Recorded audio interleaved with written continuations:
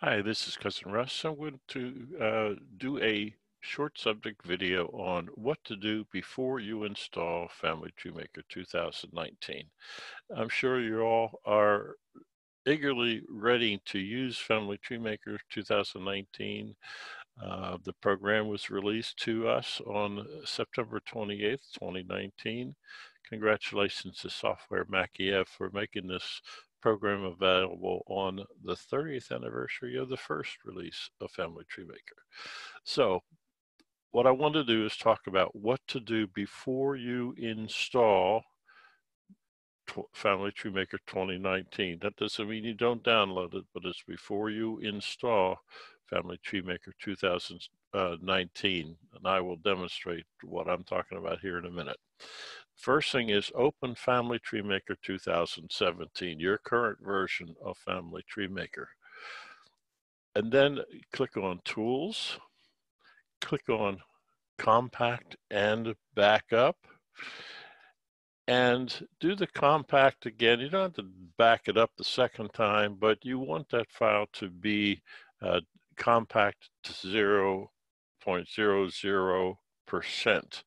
It may take one or two times, additional times to do the compact and do that for each of the files that you have in Family Tree Maker 2017. This is also precaution, and but get it down to 0.00%. And I've written blog posts about that in the past. I'm going to demonstrate it actually, but I just want to emphasize to do the compact backup before you go further. Then click File, Close. It's important that you click File, Close, and then File, Exit. Don't just close the program down. Don't use the red X for Windows people in the upper right-hand corner or the red dot in on the Mac. Use File, Close, File, Exit. So that is in 2017, and you've closed down 2017. Now you're going to install Family Tree Maker 2019, whether it's a download, a CD, or a, a thumb drive. The first thing you're going to be asked is, have you backed up your file? Well, so if you followed my suggestions, you will have done that so you can say yes then you'll be introduced to the co-pilot program. This is not new to 2019. This was done in 2017 as well. And I'll give you a link to um, so you can see what the co-pilot program is about. And at the end of 48 hours, you'll be asked to do a give feedback to the developers uh, Jack Minsky, the president of Software MacKiev and the developer for Family Tree Maker, says it's our way of making sure everybody is having a good flight. Give them feedback, give them honest feedback, your experience in using uh, this program. Uh, the information I want to send you to is on familytreemaker.com. Uh, there's a link, and I'll, it'll be in uh, on the blog with this recording the launch status. It is our understanding that the launch status should be completed the end of the weekend of the first weekend of October in 2019. So the, there's a launch status, and I'll, the link will be below. There'll be a link that describes the co-pilot program, so you can see what's about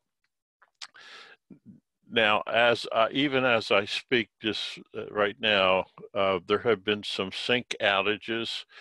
Um, if you experience that, if you're in when you're in 2017, check the sync weather report uh, in the upper right-hand corner or in the planned workspace to see what's going on. But I'll give you a link so you can see uh, what the sync status is.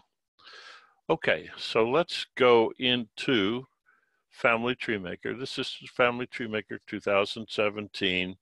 On the left are uh, six files that I have had open, and I have done the compact and backup for all of these files, but I'm going to, I left one for us to do here. So I'm going to open it. And there's the, the, the task, the plan workspace. So I'm going to go to tools. I'm going to go to compact file. I'm going to put a check mark in both the compact before compacting and perform extended analysis and click compact. Now, I have a practice and I've blocked about this of I have a specific folder in Family Tree Maker uh, on my hard drive for all my backups. And it has the file name and has the date. And what I do is to add a dash and uh, the time. I, do that because I have a tendency to do more than one backup a day.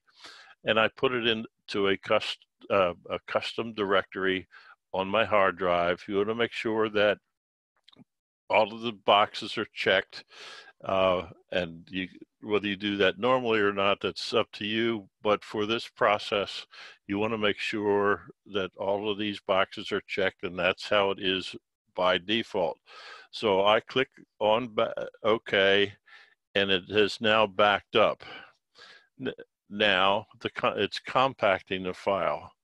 What's important is to watch this next screen. Now, this time it said it was reduced to 0.0%, and that's what you want. Now, I said a minute ago, get it down to 0.00%. It's there, but let me demonstrate what I do differently if this specific window doesn't say 0 0.00% this time. I go back to the uh, tools menu. I click compact. And this time, I the second time I do it, I only do the perform extended analysis. And that I, have already just backed it up, so I don't need to reback it up, but I want to get it down to zero uh, percent, and that's what I I don't need to have a check mark in that top box and is in fact 0.0%. Now, now that that file is backed up, ready for 2019, I can click File, Exit. So I have no files open and my best practice is File, Exit. Oops. So I, I did the, let me go back one slide.